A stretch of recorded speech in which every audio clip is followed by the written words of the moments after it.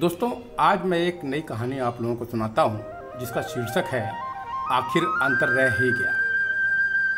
बचपन में, जब हम रेल की सवारी करते थे, माँ घर से खाना बना कर ले जाती थी। पर रेल में जब हम कुछ लोगों को खाना खरीद कर खाते देखते तो बड़ा मन करता था कि हम भी खरीद कर खाएँ। तब पिताजी समझाते थे कि इतना महँगा खाना खरीद कर खाना हम लोगों के बस की बात नहीं है। अमीर लोग ही इस तरह पैसे खर्च कर सकते हैं। हम नहीं। बड़ा मन मायूस होता है। बड़े होकर देखा, जब हम खाना खरीद कर खा रहे हैं तो वो लोग घर का भोजन लाकर खा रहे हैं। स्वास्थ्य के लिए। आखिर अंतर रह ही गया। बचपन में खेलते खेलते जब हमारी पतलून घुटनों के पास से फट जाती थी, माँ बड़ी ही कारीगरी से उसे रफू कर देती थी। और हम बड़े मायूस और दुखी मन से उसे पहनते थे।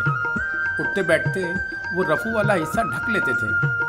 बड़े होकर देखा, वो लोग घुटनों के पास फटे हुए पतलून, महँगे दामों में बड़े दुकानों से खरीद कर पहन रहे हैं।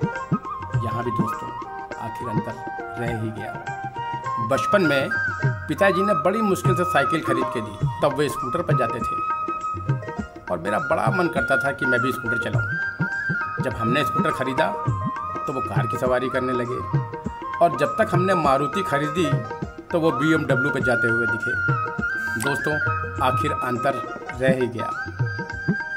और हमने जब रिटायरमेंट का पैसा लगाकर बी एम डब्ल्यू खरीदी, अंतर को मिटाने के लिए तो वो साइकिलिंग करते नज़र आए। सिर्फ़ फिटनेस और स्वास्थ्य के लिए। आखिर अंतर रह ही गया, दोस्तों। हर हाल में हर समय ये अंतर रहेगा दोस्तों। अंतर सतत है, सनातन है, सदा सर्वदा रहेगा। कभी भी दो व्यक्ति और दो परिस्थितियाँ एक जैसी नहीं हो सकती। इसलिए जिस हाल में हो, जैसे हो, प्रसन्न रहें।